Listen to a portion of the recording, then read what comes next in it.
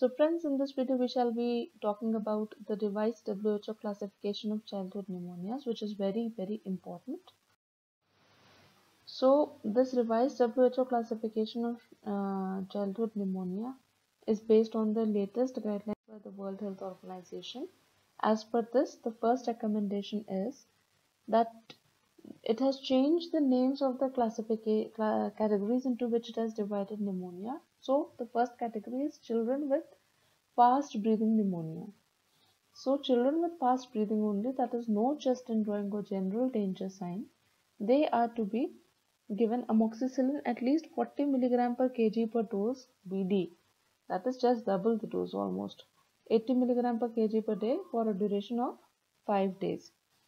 And in cases where and in uh, areas where there is low prevalence of HIV Amoxicillin can be given only for 3 days. Referral to a facility where there is a provision of appropriate second line treatment if the patient is not responding to amoxicillin. Then the second recommendation is that children aged between 2 to 59 months of age, that is infancy up to 5 years of age, with chest indrawing pneumonia. This is the second category of pneumonia, chest indrawing pneumonia. They are to be managed again with oral amoxicillin, again 40 mg per kg per dose BD for 5 days. Now the third recommendation is for the third category which is referred to as severe pneumonia and children aged between 2 to 59 months uh, are to be given parenteral antibiotics and the antibiotics to be preferred are ampicillin 50 mg per kg or benzyl penicillin 50,000 units per kg if ampicillin is not available given IM or IV 6 hourly along with gentamicin 7.5 mg per kg IM or IV OD. The two are to be given for a total duration of 5 days. In case the patient does not respond to this first line drugs, then ceftriaxone can be taken to be as the second line treatment for those who fail on them. The fourth recommendation is for HIV infected or exposed infants. These definitely need to be managed with parenteral antibiotics. And the antibiotics to be considered are again ampicillin or benzyl penicillin plus gentamicin as the first choice and ceftriaxone as the second line treatment if they are not responding to ampigenta.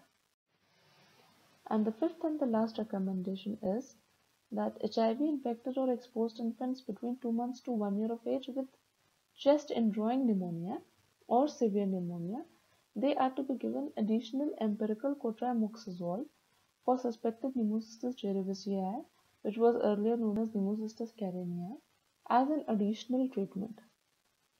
It is to be remembered that empiric cotrimoxazole is not to be given for HIV infected or exposed children over one year of age either with chest indrawing or with severe pneumonia. So here summarizing the three important points from the five recommendations.